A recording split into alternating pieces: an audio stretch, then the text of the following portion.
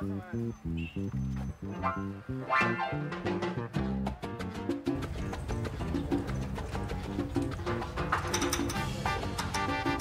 Ya.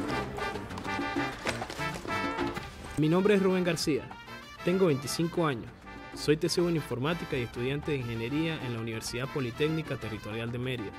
Me dedico al desarrollo de software, especializado en programación web.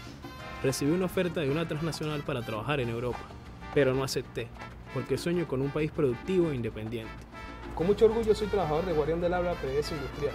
Trabajar para el desarrollo del país es un compromiso colectivo.